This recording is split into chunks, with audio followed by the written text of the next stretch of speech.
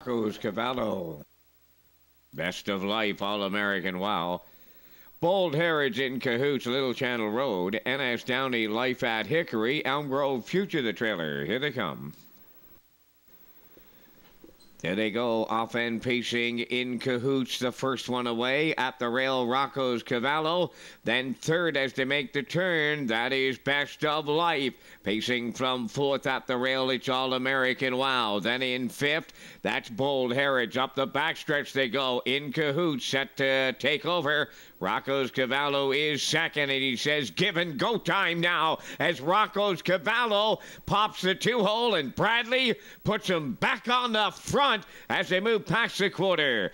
In cahoots now, second. Best of Life, third. All American Wow, fourth. 28 Three! That's a big time opener this night as they round the turn. Racing from fifth on the inside, Bold Heritage. Then sixth at the rail, that is Elm Grove Future. Pacing from seventh, NS Downey.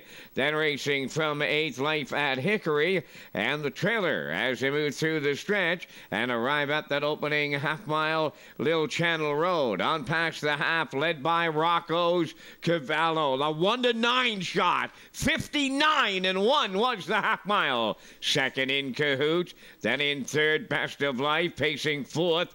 That is All American Wow. Elm Grove Futures underway fifth. NS Downey on the outside sixth. Then in seventh, that is Bold Heritage pacing from eighth. Life at Hickory and the trailer. Little Channel Road with a quarter of a mile left to go. Rocco's Cavallo continues to lead in cahoots and best of life. 90 seconds flat down at three quarters. They approach the 7 8. Rocco's Cavallo the leader. In cahoots all out in the two hole. Best of life in third. Pacing from fourth. All American Wow. They're down the stretch match. it's Rocco's Cavallo gonna win it here for Mark Bradley. Best of Life is gonna get the deuce. In Cahoots is gonna finish third. Rocco's Cavallo back to back winners. Tonight it's one fifty nine and three.